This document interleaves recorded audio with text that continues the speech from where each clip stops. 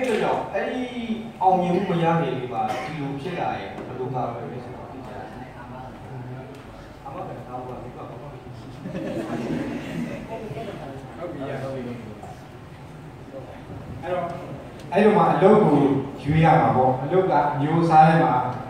အလုပ်မျိုးစားထဲမှာအစီအပြေဆုံးဒီလိုဘေးရနေရတဲ့အဝေးဆုံးလုပ်ကိုရှားမှာပေါ့အလုပ်မှာ option ခုနကကျွန်တော်ပထမဆုံးကပြောလိုက်တယ်ကိုဝန္ဒနာပါရမယ်ကိုကြွချင်တာဖြစ်ရမယ် သို့တော့ကိုဝန္ဒနာပါရကိုကြွချင်တာကဒီလိုစိတ်မချတဲ့အခြေအနေရှိတယ်ကို့မှာလည်းအရင်းနှီးရမရှိဘူးဆိုလို့ရှိရင်ကိုကနောက်တစ်ဆင့်ကိုဆင်းရမှာပေါ့နော်ဒုတိယဝန္ဒနာပါတဲ့ဟာသို့တော့လည်းစိတ်ချရတဲ့ဟာတစ်ခုခုပေါ့နော်အဲ့ဒါကိုဆိုကြပါစို့အဲစိုက်ကားကိုထောင်ထားပြီးတော့စိုက်ကားမပြင်တတ်ဘူးဆိုတဲ့လူတွေဆိုင်ရင် risk management ကကိုကစိုက်ကားကိုပြင်တတ်အောင်ကြိုးစားမယ်ဘယ်လိုလုပ်မလဲပေါ့အဲအဲ့ဒါမျိုးလေးကိုချိန်ရမှာပေါ့နော်အဲ့တော့ဟို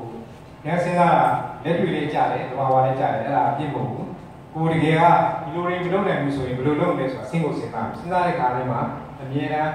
ဘေးထဲမှာသွားရောက်နေဆိုတော့ဖြစ်နိုင်ဒီလေးလာကြည့်ပြီးတော့အဲ့လိုကြဲဆဲရောက်တယ်ဒီလောကဖြစ်နိုင်သေးဘူးဆိုရင်မရွေးနဲ့ပေါ့ဒီမြဟာတစ်ခုရွေးရမှာပေါ့တဖြည်းဖြည်းပါလဲဆိုတော့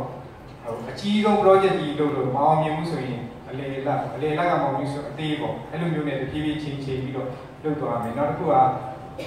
ဒီနေ့လက်ခံချက်ချင်းကြီးတဖြည်းကြီးရှင်းသွားတဲ့မျိုးတွေရှိတယ်လို့ဖြည်းဖြည်းချင်းမှထူထောင်ရတဲ့လူတွေလည်းရှိတယ်ကိုယ့်ရဲ့ဘဝကိုယ့်ရဲ့ကံကိုယ့်ရဲ့အခွင့်အလမ်းကိုယ့်ရဲ့အခြေအနေပေါ်လည်းလူတွေလူတိုင်းလူတိုင်းကတခါလေပုံငယ်ကြီးနဲ့ချက်ချင်းကြီးအောင်မြင်စေတတိမဖြစ်ဘူးကြီးကြည့်တာဆိုရှိရမယ်ဒီခံနိုင်ရမယ်ချိန်နေချိန်ကပေးတာကိုစောင့်အောင်လေစောင့်ကြည့်ပြီးတော့တင်ယူနေပြီးတော့ချိန်နေချိန်ကပေးတာလည်းထားတော့ဆိုကြပါလို့ကျွန်တော်ပြောချင်တာကအခုချက်ချင်းဒီလုပ်ငန်းကကိုယ့်ရဲ့ပန်းနိုင်ကိုထားပြီးနိုင်ပန်းနိုင်ကိုမလုပ်နိုင်ဘူးဆိုရင် အဲ့ဒီကိုမရောက်ခင်မှာ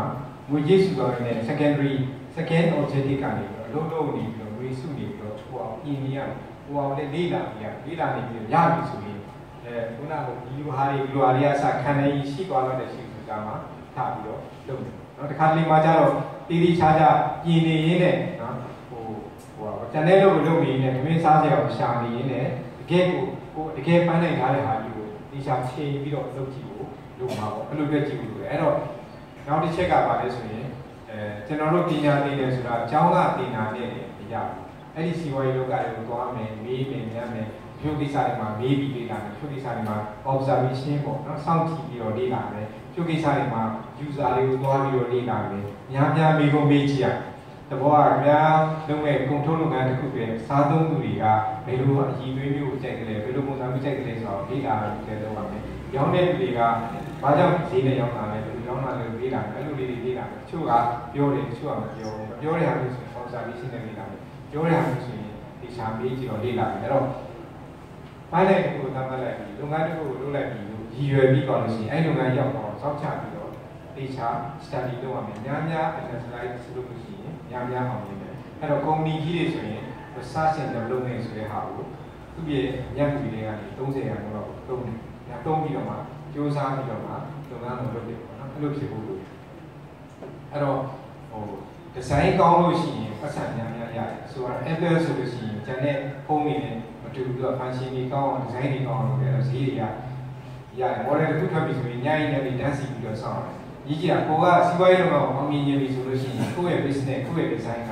အများကြီး crazy ဖြစ်တော့ ဟာဒီလူကြီးဘာလို့မှလည်းမသိဘူးသူရှိရဘာတွေထွက်လာမှလည်းမသိဘူးသူပစ္စည်းကဘာတွေလည်းမသိဘူးလို့စိတ်ကူးရင်ရန်လိုစိတ်တွေပေါက်သွားတော့ဒီဇိုင်းကိုစဉ်းစားပြီးတော့ crazy ဖြစ်နေတာ။ဘာလို့ဖြစ်နေလို့ရှိရင်အောင်မြင်ပါဘူး။အဲ့ဒါဆိုရင်စိတ်ကြီးလာကျွန်တော်ပြောပြတယ်နော်။တဲဥပ္ပကျန်တာဘယ်လိုမျိုးလဲ။နာယီဘက်ဒီဘက်ကျန်တယ်။နာယီဘက်လောက်ကျန်တယ်